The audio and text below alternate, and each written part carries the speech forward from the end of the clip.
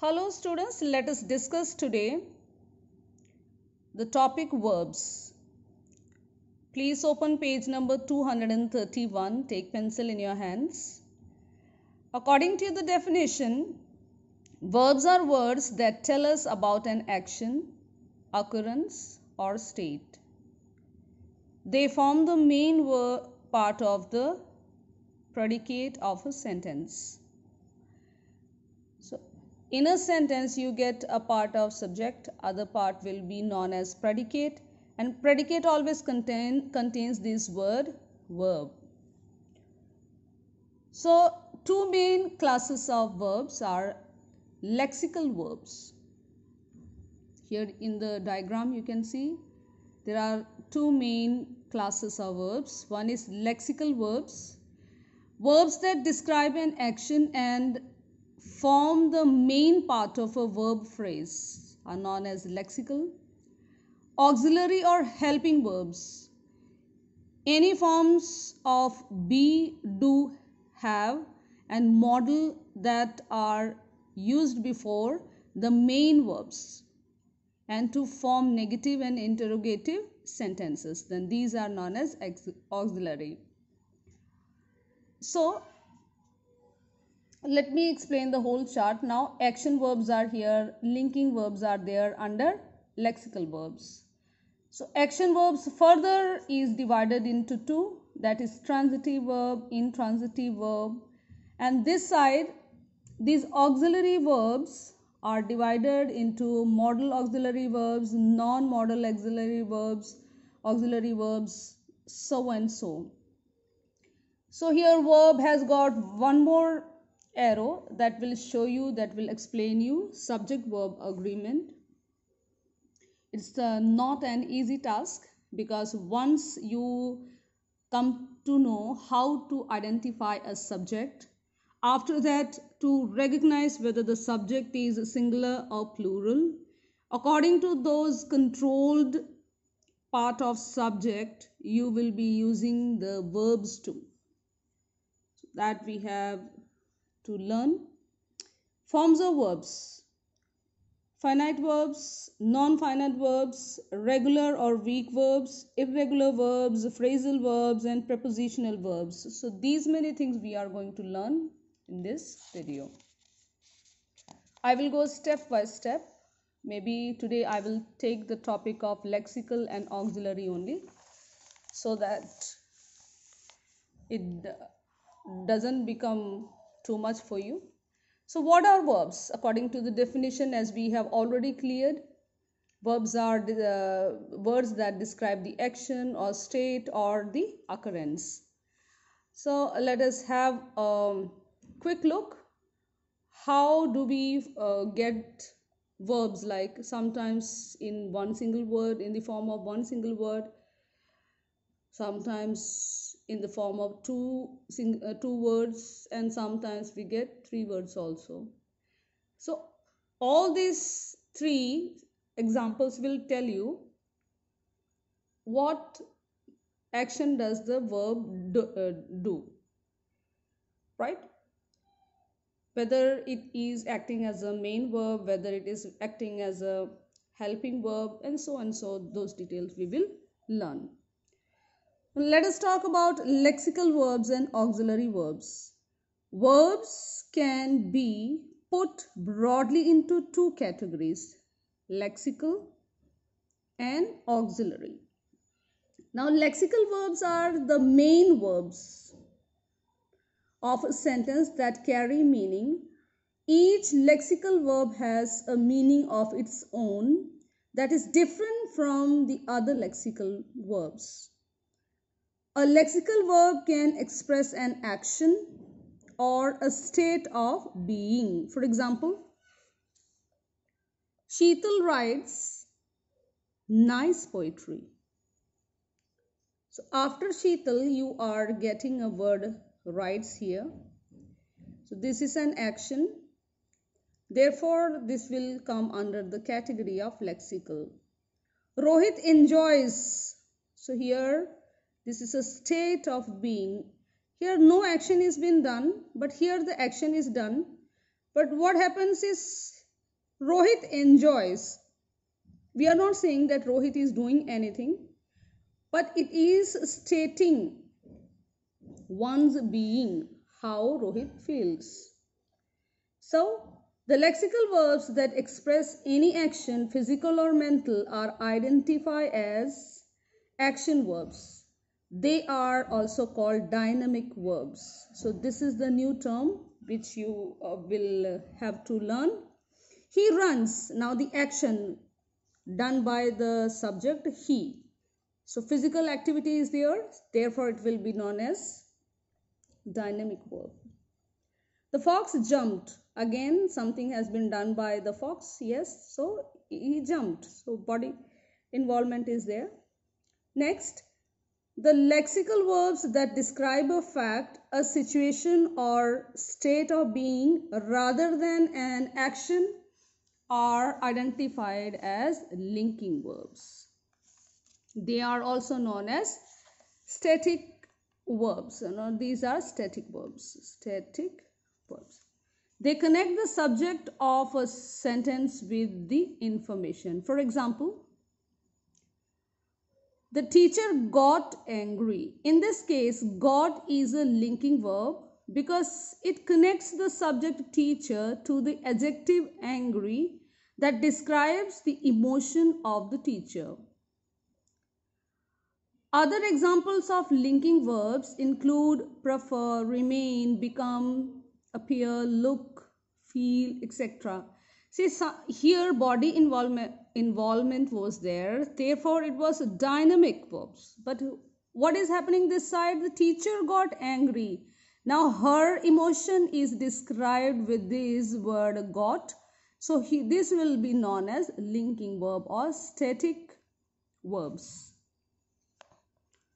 Okay, she is beautiful. So, here the third person singular form of be links she like subject with beautiful complement these are uh, the details of identifying the verb how it works and all that you will have to see how lexical and auxiliary verb they are uh, distributed and uh, they give different meaning to the verbs. Now let us talk about auxiliary verbs they are helping verbs and support the main verb. For example, Harriet is singing a song. See, this Harriet is is also a verb, singing is also a verb, a song. So these two are verbs, but if you suppose miss this word, you will get Harry singing a song means with the main verb if you by mistake or forget to put is that is helping verb then your statement will be understood at least. Yes grammatically wrong but it will be understood. But if you are not writing main verb and you are only taking the help of helping verb then how will your statement be you will not understand what actually the person is trying to say. It will be like Harry is a song. So now you have made Harry a song. So this is not uh, going to help like that or it's not going to work.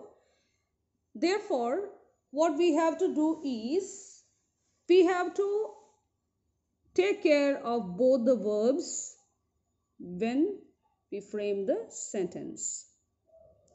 So after that we are getting modal verbs.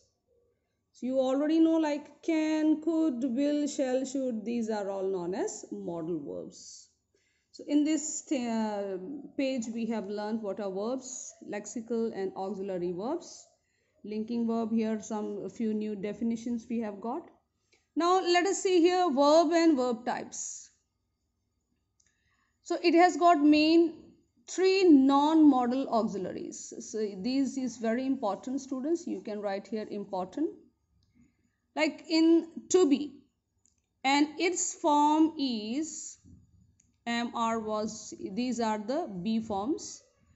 This is to have and its form has got has have had do has got does do did. And both modal and non-modal auxiliary verbs can combine to make question forms and negative forms as well so these non-modal auxiliaries which we have already discussed here they will be helping you in framing the questions also your question never only begins uh, with the WH, not only uh, begins with the WH family, but it also begins, can also begin with auxiliary verbs, right? You can start your question with is, am, are like this. So th this is how these are very important. So let us see here what is written in this box. Did you know verbs like be, have and do can be both lexical and auxiliary. How can this be? Lexical is a main verb and auxiliary is a helping verb. Now this statement says these uh, be forms and have and do these can be used as a main verb also and lexical and auxiliary verb both we can use. Let us see the example. The train is late. See this is the verb here and the train is not doing any action but what is the uh, role of is here it is done as lexical verb here the main verb of this sentence is is you cannot say the train late so what are you saying the train is late the train is running late now the running word is a main verb right running word is a main verb and is is here a helping verb so in the next also, let us see here. The boys had sand sandwiches for breakfast. So boys had sandwiches for breakfast. The boys had bought. Now here this is acting as a main verb because no other verb is there. So had is here in this sentence is known as helping verb. But here uh, bought will be main verb. I did homework. Here did will be main verb, but here did is helping verb. This is how you will have to solve. So for one more page, let me discuss verb and verb types. So these students, uh, dear students, these are very important topics that you need to know about verbs. We have understood what verbs are. These are actions and we have also come to know two categories one is lexical and other one is auxiliary so now we will also uh, go to the depth of the verb. Here it is a transitive and intransitive. To understand this concept transitive and intransitive you should know what a subject is what a verb is and what an object is. Because when we will be identifying transitive and intransitive we should know all these terms. Now let us see action verbs can be either transitive or intransitive transitive has got always an object in it after the verb but intransitive it does not require any other noun to complete its sense so uh, let us uh, listen to the Example here. A verb is said to be used as a transitive when it transfers its action to an object. Such verbs can be used as passive voice as well. So if you are familiar with active passive, then you will know that we can make a passive voice of that sentence. So like I write a letter. So what do we do in passive voice? A letter will start the sentence. A letter is written by me. So this is how it shows that this sentence is a transitive sentence. It has always got either this direct object or the indirect object. So when you study this you will know uh, gave what a shirt so when you answer what in the sentence then this is a direct object to whom when you say kisko then that is a uh, that is an indirect object. So like this you will not understand unless you come across any uh, uh, example. So right now kindly try to focus on this page. Like here she sings. This is a complete sense. But after sings there is nothing written she sings वह गाती है। She sings beautifully वो बहुत अच्छा गाती है। This sentences are complete in it sense it but it does not have an object object कैसे पता चलेगा कि object is not there because there is no noun she sings दोनों में ही आपस में बात खत्म होगी, और इसका असर the it does not require any object to be uh, to complete its or clear its sense. So this sentence in itself is a complete sense. So this is known as intransitive verb. Right? You cannot make passive of it because passive always requires an object. It does not have an object. Now verbs and inflections verbs can also be classified based on their shape or inflection like how their forms or ending changes. Like if you see infinitive to cook base form is cook simple present cook cooks and this box you need to learn. Past participle will be cooked here and present participle will be cooking here. And after that you are getting regular and irregular verbs now let us have a look.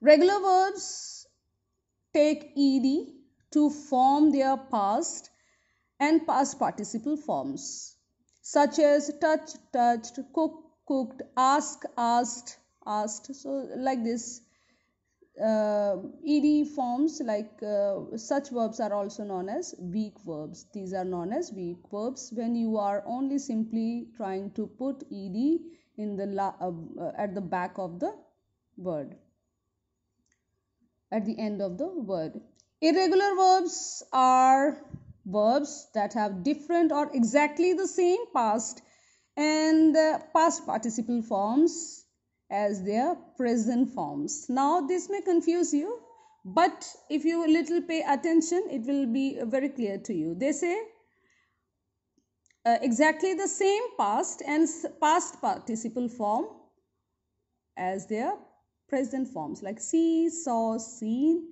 began, begin, began, begun, cut, cut, cut. So these verbs are known as strong verbs. So uh, these are of course strong. See this they are all having the different powers. So these are strong. They are having the same power. See this is also touched ed ed ed same power. So these are weak verbs, right? Now finite and non-finite Lexical verbs may be finite or sometimes it may be non-finites also. Let us see. Finite verbs are the verbs that are used according to the number and person of their subject. For example, I sing but he sings. It is not I sings or he sing. I sing, he sing. No. So these are controlled by the subjects. I will always take sing but he will always take sings, they sing. In all the above sentences, the verb sing changes its form and it is limited by the number and per person of the subject. So like this it goes. So these are known as finite and non-finite verbs and non-finites here you are having the definition. Non-finite verbs are verbs that are not affected. These are affected because I will take without s, they will take without s, you will take without s. But he, she, it, uh, any singular noun, it will take s with it. So let us see non-finite. What do they say? He likes, they will. Uh, where the uh, verb is same he likes this is controlled they will. But see here these are also verbs.